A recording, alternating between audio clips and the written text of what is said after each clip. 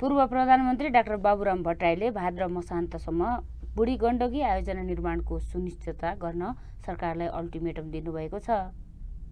बुढी गण्डकी करिडोर बहुद्देश्य आयोजनाको निर्माण सुरु गर्नुपर्ने माग राख्दै शुक्रबार सिंहदरबारमा प्रधानमन्त्री पुष्पकमल दाहाल प्रचण्डलाई ज्ञापन पत्र बुझाउँदै भट्टराईले भाद्र मसान्तसम्म आयोजना निर्माणको सुनिश्चितता गर्न सरकारलाई अल्टिमेटम दिँदै आफूहरूको माग पूरा नभए आन्दोलन गर्ने चेतावनी दिनुभएको छ।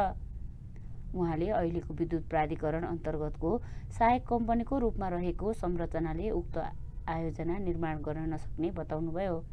आयोजना निर्माणका लागि अधिकार र साधन स्रोत सम्पन्न बुढी गण्डकी करिडोर विकास प्राधिकरण तुरुन्त गठन गर्नुपर्ने उहाँको माग छ।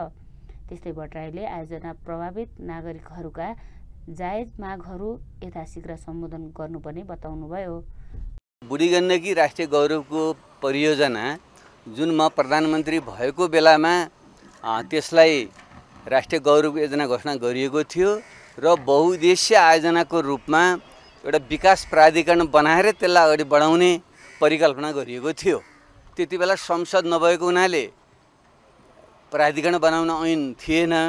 त्यसैले पुरानै ऐन अन्तर्गत विकास समिति बनाएर कामहरू अगाडि बढेको थियो। तर त्यसपछि त्यो सात वर्षभित्र सुरु भएको सात वर्षभित्र पुरा हुने भन्ने जुन परियोजना हो अहिले दस वर्ष हुँदाखेरि सुरुवात समय भएको छैन। र यो बिचमा प्रत्येक सरकार फेरिने बित्तिकै जुन चलखेलको आशङ्कासहित बुढी आयोजनाले एउटा लात्ते भकुन्डो फुटबल जस्तो जुन बनाइँदैछ र अब आएर हुँदाहुँदै जुन चर्चा परिचर्चा चल्दैछ त्यसले गर्दा यो नबढ्ने दिशातिर गएको हो कि भन्ने गम्भीर आशंका छ।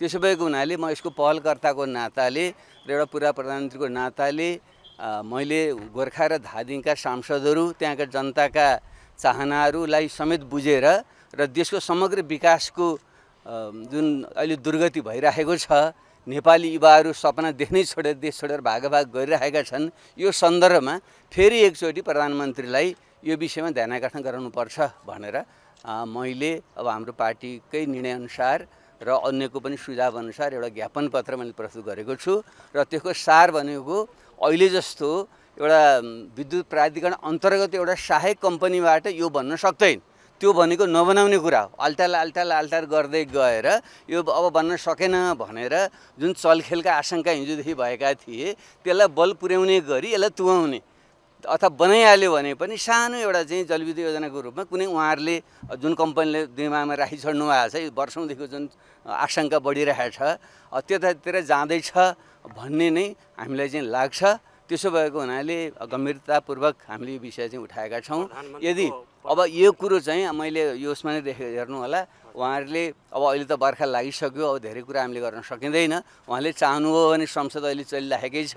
संसद मार्फत एउटा ऐन प्राधिकरण ऐन ल्याएर बुढी गण्डकी विकास प्राधिकरण ऐन ल्याएर यसलाई सुरुको बौद्धिक सुरुमा अगाडि बढाउन सक्नुहुन्छ।